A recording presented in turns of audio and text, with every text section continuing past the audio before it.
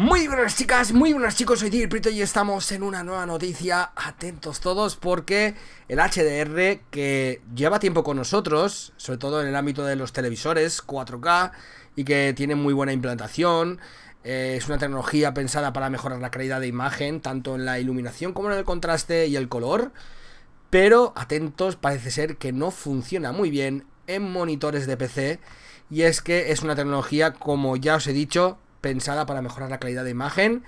En el caso de los PCs, son las tarjetas gráficas las que realizan este trabajo, ¿no?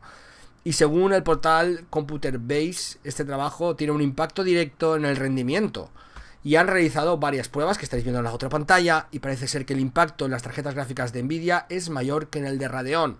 Computer Base ha obtenido que por lo general, al habilitar el procesado de HDR, las tarjetas Nvidia tenían una bajada de fotogramas por segundo del 10%. En caso de las tarjetas AMD, esa bajada era solo del 2%. La diferencia es considerable y es suficiente para que la RX Vega eh, pues gane en esta particular batalla frente a la GTX 1080 incluso en comparativas de juegos en las que normalmente la 1080 tiene la ventaja. Ahora faltaría saber por qué las tarjetas AMD se llevan tan bien con el HDR. Así que, bueno, mirad las comparativas y opinad vosotros mismos. Eh, en la fuente de descripción tenéis todo. Así que muchas, muchas gracias.